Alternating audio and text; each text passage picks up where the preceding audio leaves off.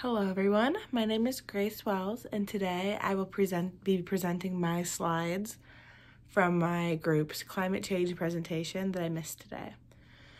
To begin, I would like to start with the history of climate change. According to NASA.com in 2024, in 1896, a paper written by Swedish scientist Svante Arrhenius first predicted that changes in atmospheric carbon dioxide levels could substantially alter the surface temperature through the greenhouse effect.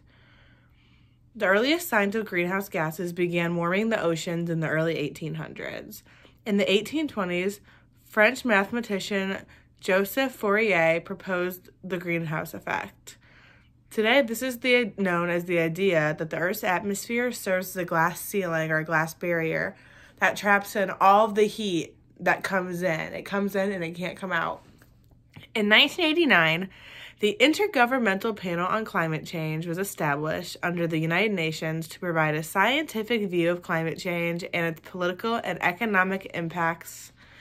And under the Obama administration, the United States signed onto the Paris Climate Agreement in 2015.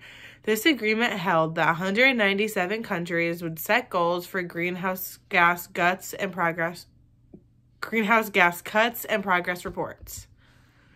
Next, I would like to talk about effects on the environment. Um, climate change and greenhouse gases affect more than just people, they affect all aspects of the environment. To begin, they affect plants. Plants can be affected by climate change because climate change causes natural disasters or weather emergencies such as droughts where there's not enough water or rain, wildfires, same thing, there's not enough water or rain and extreme temperatures, and pest infestations. Climate change affects animals because climate change causes dehabita- dehabitation, which is where animals are losing their homes, overexploitation, and disease. And it climate change even affects humans, even if we don't feel it or see it right away, it's affecting us over time.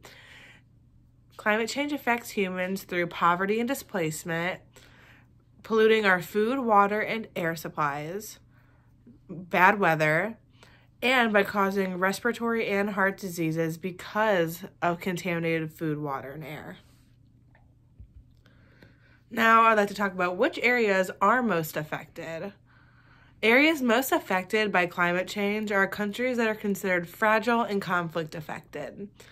The top 10 countries affected by climate change are as follows Chad, Somalia, Syria, the Democratic Republic of Congo, Afghanistan, South Sudan, Central African Republic, Nigeria, Ethiopia, and Bangladesh.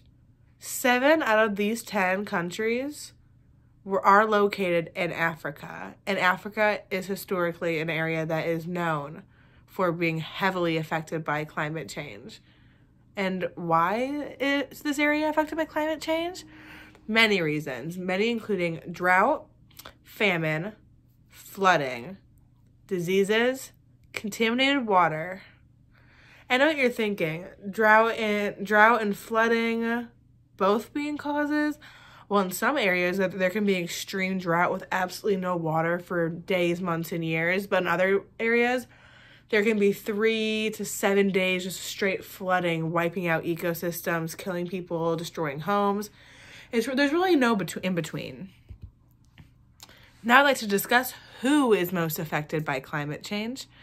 Everybody is vulnerable to climate change because it's constantly changing and evolving and progressing. However, some groups are more vulnerable than others. The first vulnerable group is children.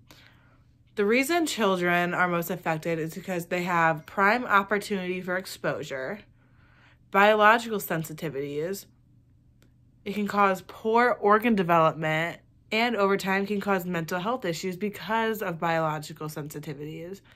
And children having the opportunity for exposure just means that children are out and about in a lot and they're interacting with other children, things that are outside, things that can cause and spread disease. The next group that is vulnerable is pregnant women.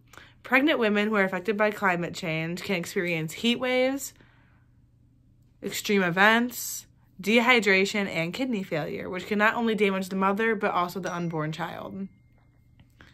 And the last group that is most affected is older adults. They can be affected due to their limited mobility, and climate change can interrupt their medical care, which could be potentially deadly. And finally, I'd like to discuss the most common causes of climate change.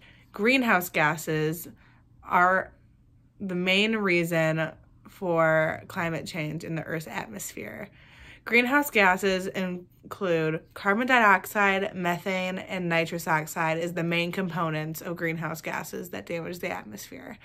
Greenhouse gases can be emitted into the Earth's atmosphere through practices such as generating power like lights, factories, manufacturing goods, again, factories, deforestation, the destroying of entire forests and environments and ecosystems, transportation, producing food, powering buildings, and overconsumption. Thank you.